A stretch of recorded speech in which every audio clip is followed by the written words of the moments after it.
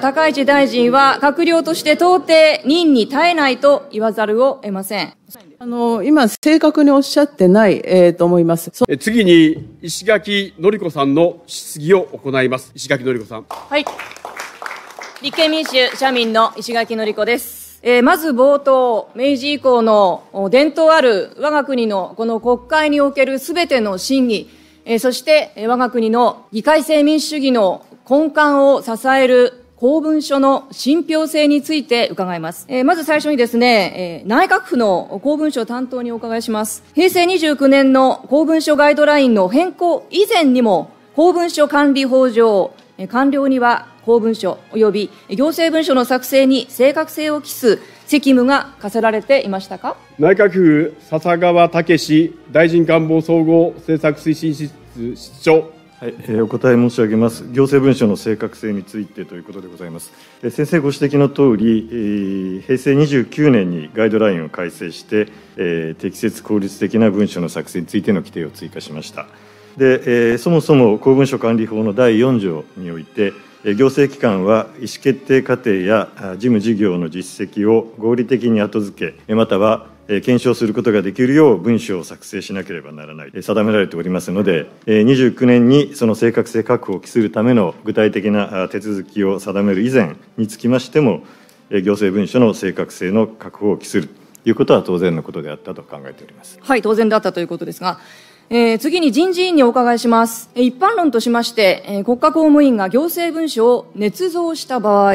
えー、国家公務員の懲戒制度上、捏造はどのような扱いになっているでしょうか？人事院荻野職員福祉局長。お答えいたします。懲戒処分については所属職員の含むを道徳するとともに事実関係を十分に承知しうる立場にある任命権者において事実関係を確認の上でご判断されるべきものでございます。その上で一般論として申し上げれば職員が公文書の捏造をするなど公文書の不適正な取り扱いにつきましては懲戒処分の対象となり得るものと考えております。はい懲戒処分の対象になるということです。え次に法務省にお伺いします。え国家公務員が行政文書を捏造した場合です。一般論として刑法上の虚偽公文書作成罪及び同行使罪が成立すると解釈されますがその認識でよろしいでしょうか。法務省松下刑事局長。お答えいたします犯罪の成否は捜査機関によって収集された証拠に基づいて個別に判断されるべき事柄でございますので、お答えは差し控えさせていただきます。なお、あくまでも一般論として申し上げれば、刑法第156条の虚偽公文書作成罪は、公務員がその職務に関し行使の目的で、虚偽の文書もしくは都がを作成し、また文書もしくは都がを返贈したときに成立し得るものと、また、その行使罪はそ、それらの文書または都がを行使したときに成立し得るものと承知しております。えー、引き続き、法務省に伺います。えー、刑事訴訟法の第239条、第2項の管理または行理はその職務を行うことにより犯罪があると資料するときは告発をしなければならないとの規定がございます、えー、この公務員には告発義務があると定めていると考えられますがその解釈で間違いないでしょうか？お答えいたします。あくまでも一般論として申し上げればご指摘の刑事訴訟法239条2項は公務員が合理的根拠に基づきその職務を行うことにより犯罪があると資料する場合には告発しなければならないという公務員の一般的な告発義務を定めているものと承知しております。では、内閣人事局にお伺いします。国家公務員法の第2条第3項の公務員の定義を見れば、えー、国務大臣も公務員と解されるんですが、その認識で間違いはないでしょう。か。久保田治内閣官房内閣人事局人事政策統括官。お答えいたします。国務大臣につきましては国家公務員法上の特別職の国家公務員でございます、えっと、事務方にお尋ねいたしましたけれども、まあ、当たり前のことではあるんですけれどもあの平成29年以前も各省の官僚の皆さんは公文書及び行政文書の作成にあたり正確性を期す責務を負っていることが明らかになりました。当然ですよね。えそして公文書行政文書の捏造は懲戒対象であり犯罪であるということもまた当然ながら確定をしたわけでございます。当たり前です。えー、また国務大臣を含む公務員には、犯罪行為を告発する義務があるということが確認できたということになります。えー、そこでですね、高市大臣にお伺いしたいと思うんですが、これイエスのでお答えいただける内容ですので、簡潔にお答えいただければと思います。まあ、ここまでの事務方の答弁を踏まえますと、あの文書に捏造があるとしますと、高市大臣は国家公務員でございますから、えー、公文書偽造で告発の義務が発生するということになると思います。まあ、たとえ被疑者不明であっても、告発しなければならないということになるわけですが、まあ、その上でお伺いするんですけども、まだあの、総務、総務省の行政文書の高市大臣に関する記述は捏造である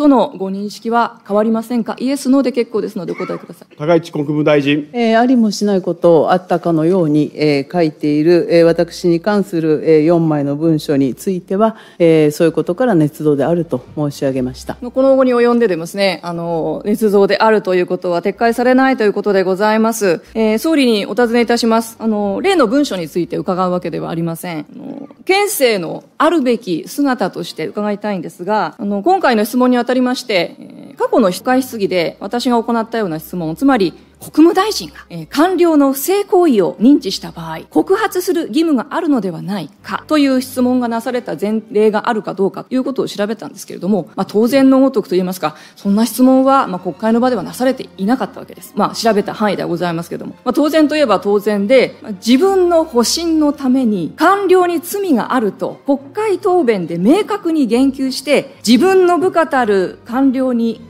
あらゆる不都合を押し付けると、まあ、そんな大臣はこれまでいらっしゃらなかったということになるのではないでしょうか。あの、明治開闢以来ですね、部下の罪を、罪を被って辞職した大臣はいたとしても、保身のために部下を売り飛ばすような、そんな大臣はいなかったんです。まあ、この一点だけを取りましても、もはや高市大臣は閣僚として到底任に耐えないと言わざるを得ません。総理ね、あの、管理者としてのやっぱり能力が、まあ、あまりにも低いと言わざるを得ない高市大臣、これはあの、閣僚に留めておくということは、岸田内閣の行政能力全般が問われかねない問題だと思います。まあ、これ以上我が国の行政機構を傷つけないためにも、まあ、即刻高市大臣、罷免された方がいいのではないかと思いますが、いつ罷免されますか？じゃあ、うん、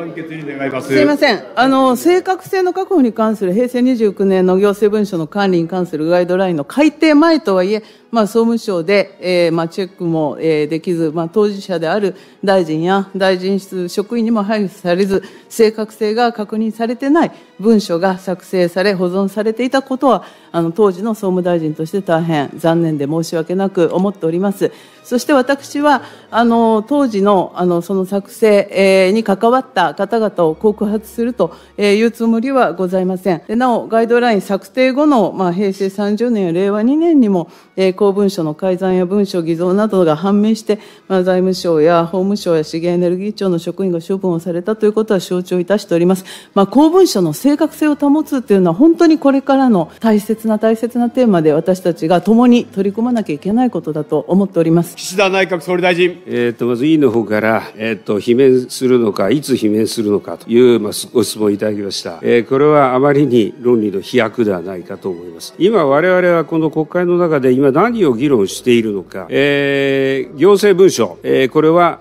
正確でなければならない。しかし、この正確でなければならない行政文書の正確性に疑義が呈されているからして、この正確性について、まず確認しなければならない。ということで、総務省において、この作業を行っている、こういった状況にあります。そして今、その作業の中で、現状においては、あの、えー、っと、22日に、え、総務省が委員会に提出した、まあ、精査結果によれば、作成者が不明の文書があるほか、作成者が確認された文書についても、え、文書に記載されている内容についての正確性は確認できなかった。まあ、現状はこういったこの精査結果が出されている、こういった状況にあります。えー、引き続き、この正確性については、これ議論をしていかなければならない段階であります。えー、その段階において、いきなり、えー、鋼鉄云々とおっしゃることは、あまりに論理が飛躍しているのではないか、このように思っております。残念です。えー、決断と実行を掲げるね、えー、岸田総理のご答弁とは、えー、思えないんですけれども、あのー正確性はあくまで正確性で、精度の程度の話からですね、事柄の有無の話にすり替えていらっしゃると私は高市大臣のご答弁を聞いていて思います。で、あの、とある月刊誌の記述、インタビューの中に、高市大臣がこのようにお答えになっていらっしゃいます。官僚が政治家を殺すのは簡単なんです。とおっしゃっていると。もう、これは真逆ですよね。政治家が官僚を壊している。そして日本の行政機構、統治機構を破壊しているのは高市大臣自らじゃないんでしょうか？あ、答弁は結構でございます。はい。あの、ぜひともですね、え日本の統治機構をこれ以上壊さない。高市大臣手上がってますので、答弁させてください。お願いします。いえいえ、あの、じゃあ、高市早苗さん。あの今、正確におっしゃってない、えー、と思います。その官僚がですね、議員を殺すのは簡単なことだっていうのは、私の言葉ではなく、まあ、そうおっしゃっている議員がいる旨でございます。はい。石垣のり子さん。同僚議員たちからは、官僚が政治家を殺すのは簡単なんですね、というようなご発言があったということで、これは失礼いたしました。はい。まあでも、このように、まあ皆さんからも、そのように、まあ捉えられてしまうということで、えー、頑張ってるね、官僚の皆さん、えー、この高市大臣の捏造発言によって、まさしく行政の統治機構が壊されると言わざるを得ません。えー、ぜひとも早い決断をお願いしたいと申し上げて、次の質問に移りたいと思います。